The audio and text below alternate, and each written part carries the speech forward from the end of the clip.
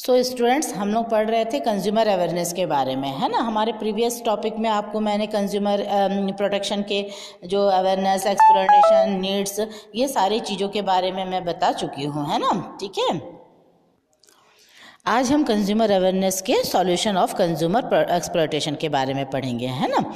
तो solution of consumer exploitation का मतलब क्या हो जाता है? आपको ये बता दूँ कि जो भी कस्टमर के साथ हमारा क्या हो रहा था, उनका जो शोषण हो रहा था, आज हम उनके सॉल्यूशन यानी समाधान किस तरह से हम इन्हें दूर कर सकते हैं, उसके बारे में अध्ययन करेंगे, ठीक है? सॉल्यूशन का पहला पॉइंट है कंज्यूमर एजुकेशन कंज्यूमर एजुकेशन का मतलब क्या होता है कि हमें कंज्यूमर को क्या करना है? एजुकेट करना है, उनको बताना है कि किस तरह का क्या चल रहा है। हमें क्या क्या चीज़ उनको मालूम होनी चाहिए, ठीक है ना? वो सारी चीज़ें हमें बताना चाहिए। जैसे मान लीजिए उन्हें ये जनरल पब्लिक और देयर फॉर प्रॉपर एजुकेशन हमें कंज्यूमर को उनके राइट्स के बारे में बताना चाहिए कि उनको क्या क्या अधिकार उनको प्राप्त हुए हैं, ठीक है? सेकेंड है परचेज ऑफ़ स्टैंडर्डाइज गुड्स हमें ये भी देखना है कि जब भी आप गुड्स परचेस करिए तो उसका स्टैंडर्ड देख करके परचेस कीजिए। ISI mark egg mark hall mark इन सबको देख करके ही आपको सामान को परचेस करना चाहिए। ठीक है ना? थर्ड है taking cash memo and receipt हम कई बार क्या करते हैं, सामान लेने तो जाते हैं बेटा, लेकिन हम कैश मेमो लेना भूल जाते हैं, हम कैश मेमो नहीं लेते हैं। तो हमें कैश मेमो लेना और रिसिप्ट लेना बहुत ज़्यादा ज़रूरी है, ताकि कल को अगर हमारे प्रोडक्ट में कोई प्रॉब्लम आता है तो तुरंत हम क्या कर सकते हैं, उसको वापस करके सामान मतलब अगर सामान घर आकर के देखते हो, कोई डिफेक्टिव पीस निकल गया तो आप वहाँ पर क्या कर सकते हो, उसको रिटर्न कर सकते हैं, ठीक है ना? तो ये चीज़ आपके कैश मेमो और रिसिप्ट के अंतर्गत आपके होने चाहिए। अगला है not to be learn by the advertisement आप क्या करो एडवर्टाइजमेंट से ज़्यादा अट्रैक्टिव मत होइए। हमारा क्या होता है? आज हम टेलीविज़न या मीडिया में जो एडवर्टाइजमेंट दिखता है, हम उनमें से बहुत ज़्यादा इन्फ्लुएंस हो जाते हैं। तो साइकोलॉजिकली हम उसमें से अफेक्टेड हो जाते हैं। तो हमें क्या करना चाहिए? इस तरह के गुड्स हमें परचेज नहीं करना चाहिए। कोशिश ये रहती है कि हम जितना ज़्यादा हो सके एडवर्टाइजमेंट से बचें। ठीक है ना? हम एडवर्टाइजमेंट जो है वाली चीज़ें जो है, उसकी क्वालिटी अच्छी नहीं होती प्राइस भी सही नहीं होती है, ये बात आपको जानना ज़रूरी है। ठीक है? नेक्स्ट है टू कंप्लेन कलेक्टिवली अगर कस्टमर के साथ साथ किसी तरह का धोखाधड़ी होता है तो कस्टमर को चाहिए कि सेलर या प्रोड्यूसर के अगेंस्ट कंप्लेन करे। तो अगर जब तक आप कंप्लेन नहीं करोगे, तब तक वो सुधरेगा कैसा, है ना? इसीलिए आपको कंप्लेन आपके लिए क्या होना चाहिए? कलेक्टिवली कंप्लेन आनी चाहिए, जिससे क्या हो सके आप सुधर सको। तो कंप्लेन करें ताकि प्रोड्यूसर और सेलर जो है वो सुधर जाए, दोबारा वो गलती ना करें। सिक्स पॉइंट है to verify the expiry date आप जब भी प्रोडक्ट परचेस करते हो तो it is your responsibility to check the expiry date आप चेक कर लो कि कब इसका एक्सपायरी डेट है क्योंकि एक्सपायरी वाली डेट चेक करना आपकी काम है। कल आप जब भी आप आते हो तो एक तो दुकानदार को भी पता होना चाहिए। पता चला वो एक्सपायरी डेट का सामान आपको दे रहा है आपने देखा और उसके बाद फिर आप दुकानदार को बोलिए ताकि वो भी क्या कर सके उस चीज़ को आ, समझ सके कि बाय मिस्टेक कभी कभार होता है कि हो सकता है बाय मिस्टेक उसका उसने आपको सामान दे दिया है। उन्हें मालूम भी नहीं है कि इस प्रोडक्ट का एक्सपायरी डेट निकल गया है। तो it is yours duty that you have to inform the producer and seller that this goods date was expired okay तो ये चीज़ बताना आपका काम होता है। तो जब तक आप ये चीज़ नहीं बताओगे तो शॉपकीपर या किसी और को कैसे पता चलेगा? ठीक है ना? तो ये सारी चीज़ें हमें बताना ज़रूरी हो जाता है। ठीक है? तो आपकी ये रेस्पॉन्सिबिलिटी तो ये जो छः प्रॉब्लम है, ये आपका क्या है? Solution of the consumer exploitation अगर आपको बचना है तो ये चीज़ आपको करनी ही पड़ेगी। ठीक है? नेक्स्ट है कंज्यूमर मूवमेंट्स अब हम क्या देखना चाहते हैं कि कंज्यूमर्स का जो मूवमेंट्स होता है कि वो कभी कभार क्या होता है? डिससेटिस्फाइड होता है। वो they are not satisfied with your goods वो आपसे सेटिस्फाइड नहीं होता है। तो यही कारण हो जाता है कि डिससेटिस्फेक्शन के कारण आपको कम खाना मिलता है फ़ूड स्टफ़ जो है वो उसकी कमी हो जाती है होर्डिंग ब्लैक मार्केटिंग एडल्ट्रेशंस ये सारे जो प्रॉब्लम्स हैं वो क्रिएट हो जाते हैं। और सबसे पहला आपको फ़र्स्ट टाइम 1955 में एक हुआ था कि इसेंशियल कॉमोडिटीज एक्ट पास हुआ था, ताकि क्या हो सके कि जो कस्टमर जो है कस्टमर की जो प्रॉब्लम्स है उसको सुना जा सके प्रोडक्शन में कंट्रोल किया जा सके डिस्ट्रीब्यूशन प्राइस सप्लाई ये सारी चीज़ों को सही तरीके से किया जाए, ठीक है ना? तो in nineteen 1976 weight and standard measure. हमने क्या किया? 1976 में वेट और स्टैंडर्ड मेज़रमेंट का एक्ट पास किया, जिसके माध्यम से हमने ये दिया कि सही नाप तोल करके सामान दिया जाना चाहिए, ठीक है ना? और उसके बाद फिर 1986 में हमने कंज्यूमर प्रोटेक्शन एक्ट पास किया, गवर्नमेंट ऑफ़ इंडिया ने। कंज्यूमर प्रोटेक्शन एक्ट से आपका तात्पर्य क्या है बेटा? कि जैसे मान लीजिए हम क्या करते हैं कोई भी शिकायत होती है, जैसे मान लीजिए हम लोग की जो शिकायतें होती है मान लीजिए कोई क्राइम कर गया, ठीक है ना? जो अगर क्राइम कर जाता है तो फिर आप क्या करते हो? पुलिस स्टेशन चले जाते हो या फिर कोई अलग मामला होता है तो फिर आप वकील के पास लॉयर के पास चले जाते हो। मीन्स यू नो दैट कि if anybody doing crime then you we should go to the police we have to inform the police but अगर कोई any producer and manufacturer exploit you then you don't know where you are giving your complain and where you were go आपको ये समझ में नहीं आता है कि हम जाएँ कहाँ और कहाँ हमें हरी शिकायत दर्ज हो। तो इसलिए सरकार ने 1986 में कस्टमर के प्रोटेक्शन के लिए, उपभोक्ताओं संरक्षण के लिए धाराएँ बनाई। और इस धारा जो है वो आपका कोपरा के नाम से फैक्ट फ़ेमस है। सी ओ पी आर ए कोपरा दिख रहा होगा आपको। ये जो कोपरा है, ये आपके लिए बनाया गया है कि कंज्यूमर प्रोटेक्शन एक्ट जो है वो बनाया गया है, जिसमें हम जो इस तरह का जो प्रोड्यूसर के द्वारा या मैन्युफैक्चर के द्वारा कस्टमर को जो गलत व्यवहार किया जाता है तो उनका सॉल्यूशन किया जा सके। ठीक है ना? तो इमीडिएटली आपके जो भी कंप्लेन होते हैं, उनको सुनने का और लीगल प्रोसीडिंग करने का ये बनाया गया। इसमें देखिए, पहला है कि तीन तरह का थ्री टायर जुडिशरी सिस्टम होता है।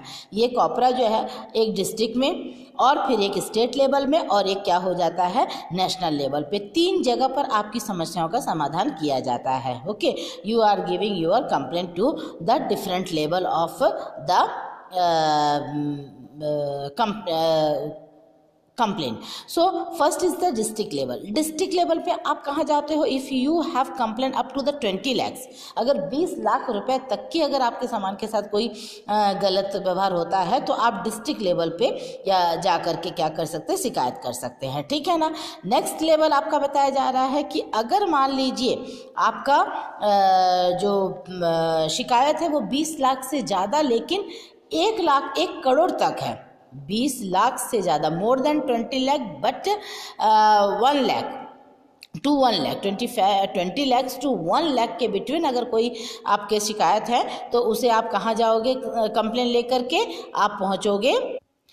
स्टेट लेवल कोर्ट पर, ठीक है ना? जहाँ पर आपकी शिकायत सुनी जाएगी। और अगर मान लीजिए, एक करोड़ से ज़्यादा more than one crore then you go to the national level ठीक है? तो ये तीन लेवल पर आपके होते हैं, जिसमें आपको क्या बताया गया कि डिस्ट्रिक्ट लेवल पर शिकायत 20 लाख तक की शिकायत है। तो आप 20 लाख रुपये तक का अगर आपके सामान के साथ कुछ धोखाधड़ी हुआ है तो go to the district level court second अगर 20 लाख से ज़्यादा, लेकिन एक करोड़ तक की हुई है then go to the state level court और अगर मान लीजिए एक करोड़ से ज़्यादा हुआ है तो फिर you go to the national level court understand तो there are three type of jurisdiction तीन तरीके से आपका न्याय हो सकता है। अगर आपके साथ किसी तरह की कोई धोखाधड़ी हुई है तो ठीक है ना? अब प्रोटेक्शन एक्ट जो हो रहा है कंज्यूमर मूवमेंट हमारे भारत देशों में जो है आपका हो जा रहा है तो कई तरह के डिपार्टमेंट ऑफ़ कंज्यूमर अवेयरनेस है जो कि गवर्नमेंट के द्वारा लॉन्च किया गया है। उसके माध्यम से हम लोगों को जागरूक कर रहे हैं। और in India twenty fourth December is celebrated as the national consumer day हम हमारे देश में national consumer day twenty December को सेलिब्रेट करते हैं। जैसे सपोज़ करो, इसको सेलिब्रेट करने का मेन पर्पस क्या होता है बेटा? देखो, आप सारा साल कैसे भी रहो, लेकिन आपका जब भी बर्थडे रहता है तो you are very excited and very happy क्योंकि आपको लगता है कि आज मेरा दिन है because that day was your birthday. तो ये कहा गया है कि ये कंज्यूमर डे या हमारे देश में कई तरह के जो डेज़ बनते हैं आर्मी डे फ्लैग डे और कई तरह के जो डे बनता है तो वो डे बनाने का मेन पर्पस यही है कि भले आप साल भर नहीं, लेकिन किसी एक दिन तो आप उस चीज़ को जानोगे। तो कंज्यूमर डे में भी हमारा यही है कि साल भर भले आप अपने अधिकार और रिस्पॉन्सिबिलिटीज़ ड्यूटीज़ और राइट्स के बारे में कुछ ना जानो, लेकिन कम से कम 24 दिसंबर को एटलीस्ट आप याद तो करोगे कि आज हम उपभोक्ताओं के लिए क्या बना है, दिन बना है, ताकि हमारे साथ किसी तरह का कोई एक्सप्लोटेशन ना हो सके, ठीक है ना? तो यही कारण है कि हमारा नेशनल कंज्यूमर डेज़ जो है वो ट्वेंटी फोर्थ दिसंबर को हर साल मनाया जाता है, ठीक है ना? तो इसका मनाने का मेन पर्पस यही है कि हम ज़्यादा से ज़्यादा कस्टमर को क्या करना चाहते हैं? अवेयर करने की कोशिश करते हैं कि कस्टमर जो है वो ज़्यादा से ज़्यादा मात्रा में क्या हो? अवेयर हो, ताकि उन्हें हर चीज़ के बारे में जानकारी मिलनी चाहिए, ठीक है ना? ये सारे जो है आपके क्या है? कस्टमर के मूवमेंट के लिए या उनके प्रोटेक्शन एक्ट बनाया गया now come to the consumers rights and duty सबसे जो इम्पोर्टेंट थिंग है वो है कि कस्टमर्स को अपने अधिकार और कर्तव्य के बारे में पूरी जानकारी होनी चाहिए कि which type of rights and duties we are given to them आपका क्या होता है? कई बार हमारे, हमें जैसे मान लो पता ही नहीं होता है कि हमारे लिए इतने सारे रूल्स रेगुलेशंस लॉज बने हैं। और हम क्या करते हैं? कंटिन्यूसली प्रोड्यूसर्स से के जो चीटिंग है, वो हम सहते जा रहे हैं। बिकॉज़ वी डोंट नो कि what is the step what is are next step हम आगे क्या करेंगे? ये हमें पता ही नहीं होता है। तो इसलिए you should know that what is your rights and duties तो first right is the right to safety her customer को ये अधिकार होता है कि वो अपने uh, जो प्रोडक्ट uh, से रिलेटेड जो सेफ्टी है वो उनको मिलनी चाहिए। वो हर तरह का किसी तरह का बड़ा रिक्स उसको ना लेना हो। जैसे सपोज़ करो कुकर अपन करते हैं। ठीक है ना? आपने कुकर परचेस करके लाया तो आपको ये पता होना चाहिए कि ये कुकर जो है वो आपकी लाइफ की सेफ्टी करेगा। ऐसा नहीं कि ब्रस्ट हो गया और पूरा किचन खराब, आप इंजर्ड हो गए, वो अलग हो गया, ये चीज़ नहीं होनी चाहिए। तो आपके लिए अगर कोई प्रोड्यूसर कोई सामान बनाता है तो it is there look after then how you how the company safe you ये सेफ्टी की ध्यान रखना उनके लिए मैन्युफैक्चर कंपनी के लिए होता है, ठीक है ना? कोई इलेक्ट्रिक का सामान हो गया, मान लो आपने यूज़ किया प्रेस ही ले लीजिए आयरन अचानक आपको करंट लग गया। तो कहने का मतलब होता है कि ये जो है प्रोड्यूसर को चाहिए कि वो सेफ्टी का ध्यान रखे, ये आपका पहला अधिकार है। दूसरा है राइट टू इन्फॉर्म्ड जब भी आप कोई प्रोडक्ट परचेस करने जाते हो तो ये स्पेशल कुछ पैकेट का इन्फॉर्मेशन जो है वो आपको दिया होना ही चाहिए। दो चीज़ तो मस्ट होती है, एक मैन्युफैक्चरिंग डेट और next is the expiry date फिर तीसरा जो है, वो कौन सी कंपनी ने मैन्युफैक्चर किया है, उसका पूरा पता नेम एड्रेस सब होनी चाहिए, ठीक है ना? मोस्टली जैसे बेबी फूड्स हो जाता है या मेडिसिन हो जाता है, उसमें आपका लिखा ही रहता है कि क्या क्या है, कितना डोज लेना है, क्या करना है, क्या नहीं तो ये सारी चीज़ें। खैर, ये खैर, सिर्फ़ आपको मैं बेबी फूड्स या मेडिसिन के बारे में ही नहीं बता रही हूँ all things also we have to take जैसे वॉशिंग वॉशिंग आप क्लॉथ वॉशिंग करते हो तो डिटर्जेंट पाउडर पे भी लिखा होता है कि किस टाइप के क्लॉथ के लिए है। कोई वुलन क्लॉथ के लिए सेपरेट आपका अलग आपका आ जाता है ईजी वगैरह आ जाता है सॉफ्ट कपड़े के लिए अलग आता है हार्ड कपड़े के कपड़े के लिए अलग आ जाता है। तो ये भी आपका इंस्ट्रक्शन होता है। तो हर चीज़ में each and every goods, they need to give the all information about that. ठीक है ना? ये चीज़ आपके लिए होना चाहिए। In the year 2005 the government India laws knows right of information जो 2005 में सरकार ने क्या किया? आपके लिए कई तरह के लॉज पास किए कि what is the laws of you and which type of laws you follow for the protection तो ये आपके राइट्स के प्रोटेक्शन के लिए दिया गया। तो ये सारे इन्फॉर्मेशन आपको होनी चाहिए okay now third is the right to choose चुनाव का अधिकार। आप कभी भी कोई सामान खरीदने दुकान जाते हो तो आपको पूरी तरह से छूट है कि आप कोई भी गुड्स को अच्छी तरीके से देख सकते हो चूज़ कर सकते हो। If shopkeeper refuse you don't touch it don't see that तो आप इसका कंप्लेन कर सकते हो, क्योंकि आपका पूरा अधिकार है भैया। आप, उन्होंने दो सामान दिखा दे, दो में ही आपको लेना है, बिल्कुल नहीं, आप स्वतंत्र हो सामान चूज़ करने के लिए, ठीक है ना? तो ये चीज़ आपके लिए है कि जब भी आप कोई सामान खरीदने जाते हो तो आपको उसको छू कर देखने का बार बार देखने का पूरी तरह से अधिकार हो जाता है, ठीक है ना? इसके लिए कोई भी आपको मना नहीं कर सकता है कि आप इसको देखिए नहीं, आप इसको पकड़िए नहीं, ठीक है ना? ये चीज़ आपके अधिकार में आता है, ठीक है? इसके बाद आपका क्या हो जाता है? The right to redressal redressal का मतलब हो जाता है कि अगर मान लीजिए किसी तरह का एक्सप्लोटेशन हो रहा है तो उसको सुधारना ठीक है ना? आप उसको सुधार सकते हैं। आप उसमें किसी तरह का कोई अगर गलत हो जाता है तो उसको रेड्रेसर करना सुधारने की ज़िम्मेदारी आपकी हो जाती है ठीक है ना? जैसे मान लीजिए आपका आ, कोई तबीयत खराब हुआ है आप डॉक्टर के पास चले गए मान लो आपको गले का प्रॉब्लम हो रहा है तो फिर आपका गले का प्रॉब्लम अगर हो रहा है तो फिर इसके लिए आप गले के डॉक्टर के पास जाएँगे। अगर सपोज़ करो गले के डॉक्टर आपको नेगलेक्ट नेगलेक्ट कर रहा है, आपका ट्रीटमेंट प्रॉपरली नहीं कर रहा है तो भी आप शिकायत कर सकते हैं कि भाई हम जिसके पास गए हैं, वो डॉक्टर हमारा प्रॉपरली ट्रीटमेंट नहीं कर रहा है। या फिर सपोज़ करो, ले दे करके उसने आपका गले का कोई ऑपरेशन ही कर दिया, लेकिन ऑपरेशन करने के बाद आपका ऑपरेशन गलत हुआ। तो भी आप केस दायर कर सकते हो उस डॉक्टर के अगेंस्ट में कि भैया हमारा जो ये प्रॉब्लम था तो उन्होंने इसका सही ढंग से ट्रीटमेंट नहीं किया। या फिर कई तरह के हॉस्पिटल वगैरह जाते हैं तो हॉस्पिटल में भी कई तरह के पेशेंट के साथ नेगलेक्ट किया जाता है। तो आप इसका कंप्लेन कर सकते हो और फिर उसका रिड्रेसर रिड्रेसर का मतलब होता है उसका सुधार करना, ठीक है ना? हमारी जो शिकायत है, उसको सुलझाना और सुधारना जो है, ये हमारा अधिकार होता है, ठीक है? तो ये आपके फोर राइट्स जो है, वो कंज्यूमर को मिले हुए हैं और इन राइट्स का यूटिलाइज करना कस्टमर का या कंज्यूमर का खुद का काम होता है। If they are not using their rights तो totally it's their loss okay now come to the duties अब कस्टमर के कंज्यूमर के क्या क्या दायित्व हैं वो देख लीजिए। जहाँ आपको किसी चीज़ के अधिकार मिलते हैं तो वहाँ पर आपके कुछ दायित्व भी होते हैं ड्यूटीज़ भी होते हैं, उन चीज़ को देख लीजिए। पहला है to take bill receipt guarantee card आप कभी भी कोई सामान खरीदते हो तो बिल लेना और गारंटी कार्ड लेना भूलना नहीं है। ये आपकी ज़िम्मेदारी है।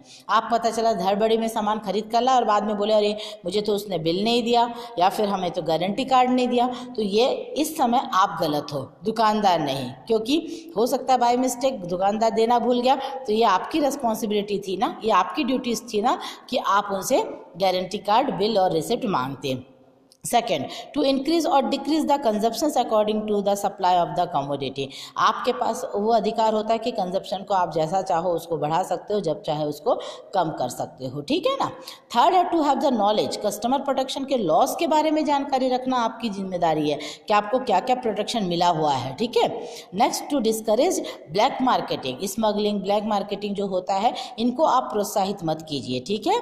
अगला है one must complain about the actual problem आपको को जो वास्तव में प्रॉब्लम है जैसे प्राइस प्रोडक्ट के प्राइस को कम करवाना है या किसी आ, सेलर ने आपके साथ कोई चीटिंग कर दिया है तो इन सब चीज़ों को आ, का कंप्लेन करना आपका है। अगर आ, अगर आप कंप्लेन नहीं करते तो ये आपकी फॉल्ट है। और लास्ट पॉइंट बताया जा रहा है कि whenever you are purchase the goods you have to check out the I S I mark agmark hall mark hallmark F P O ये सारे मार्क आपको होना ज़रूरी है चेक करना। अगर आप चेक नहीं करते हो और घर आने के बाद अगर उस प्रोडक्ट में किसी तरह का कोई डिफेक्ट निकलता, कोई डैमेज निकलता है तो they are not responsible for that because it is your duties to check out that trademarks ठीक है?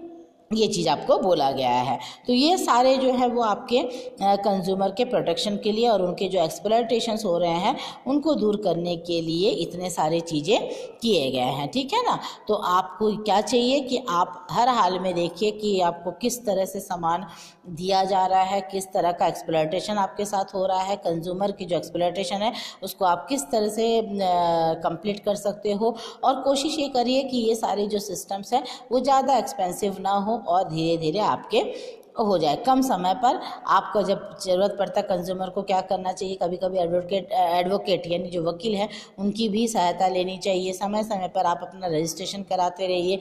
कोर्ट से पता करते रहिए कि कोई रूल्स रेगुलेशन चेंज तो नहीं हुआ है हमारे लिए। तो ये सारी चीज़ें जो हैं गवर्नमेंट ने आपको सुविधाएँ प्रदान कर रखी है, जिसको आपको अच्छी तरीके से अपनाना है और आपको ये यूज़ करना है। ठीक है स्टूडेंट्स तो ये पूरा चैप्टर आपका क्या हुआ? कंज्यूमर अवेयरनेस के बारे में था, जो कि आपको बताया गया है। ठीक है ना?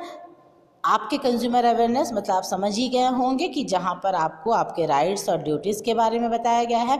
आपके साथ किसी तरह का कोई एक्सप्लोइटेशन ना हो, इसके बारे में बताया गया है।